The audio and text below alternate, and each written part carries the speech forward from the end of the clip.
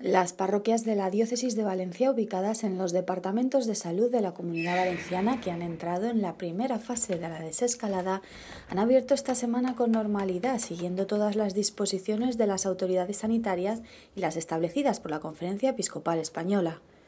Así han abierto sus puertas los templos de Requena, Xàtiva, Ontinyent, Gandía, Alcoy, Elda, Denia y los municipios pertenecientes al Rincón de Ademuz. En esta primera fase se permite la asistencia grupal, pero no masiva, sin superar el tercio del aforo, con eucaristías dominicales y diarias.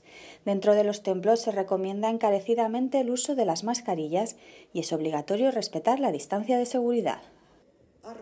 Los feligreses deberán sentarse en los bancos o lugares señalizados respetando las distancias. Las pilas de agua bendita continuarán vacías y la comunión se distribuirá en silencio y se recibirá en la mano. El saludo de la paz se sustituye por un gesto para evitar el contacto directo.